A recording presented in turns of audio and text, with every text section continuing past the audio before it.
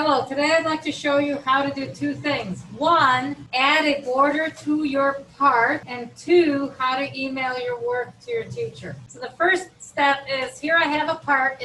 Now you want to turn this drawing into your teacher's. You go to insert and you pick insert. Like you can pick recent blocks, we don't have any, but you want to pick blocks from other drawings. What you do is you navigate to wherever you are saving, wherever you are saving your border. You click on it and you hit open. And what happens is you get a, a dialog box. That's what these things are called. I'm going to drag mine out so you can see it clearly.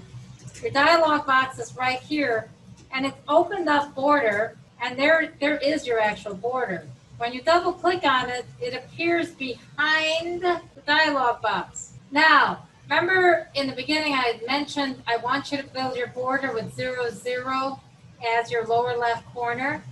The reason I asked you to do that and not just draw anywhere is because you'll notice as I move this around, the crosshairs in the lower left corner happen to be where zero zero is on that drawing.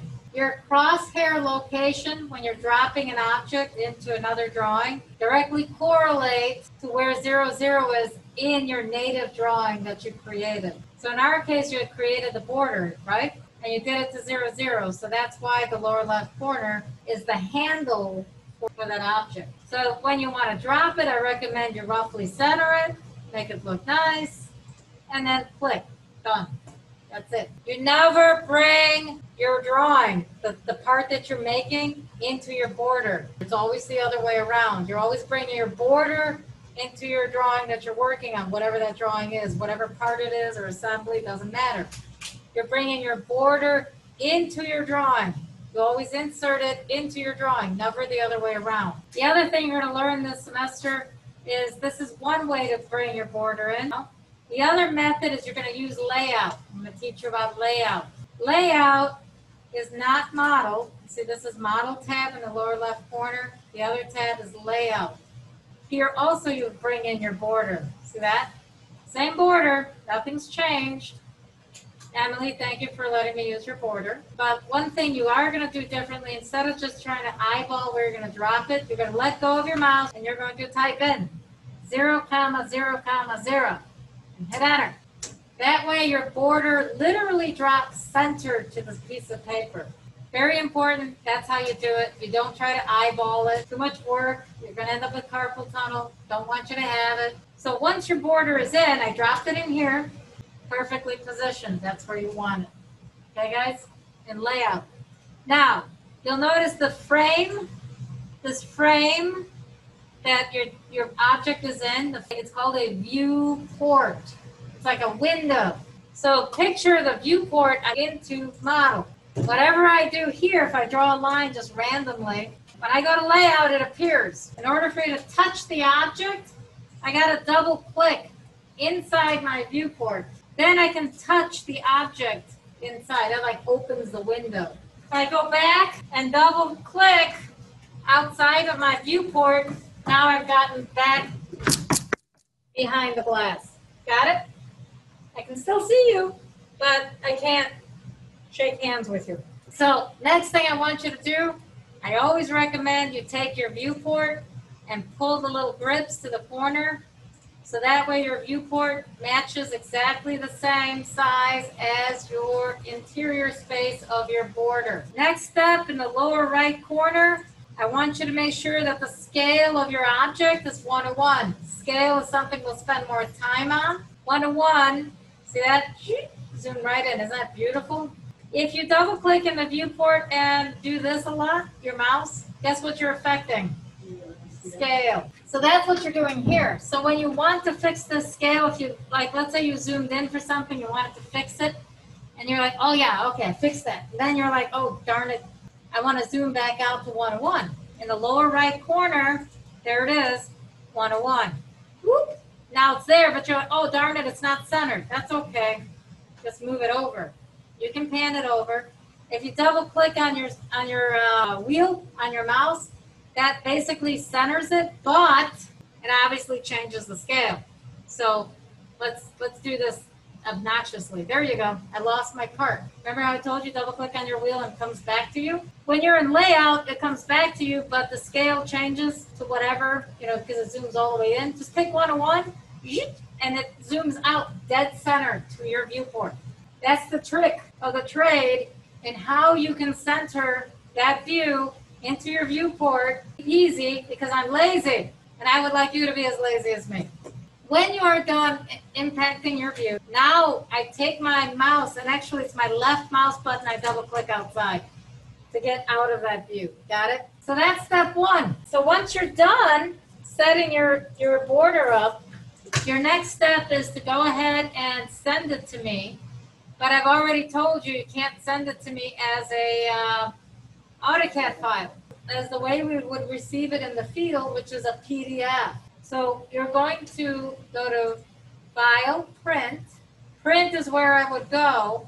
When you click on print, you're going to get a bunch of options. I typically tell you to pick the last one, continue, plot a single page, because that's what you're doing. You're only printing one sheet. Now, your print parameters are as follows. First, instead of picking a printer, you're going to you're going to pick Microsoft Print to PDF. The paper size is letter. Your paper size will always be letter in this country.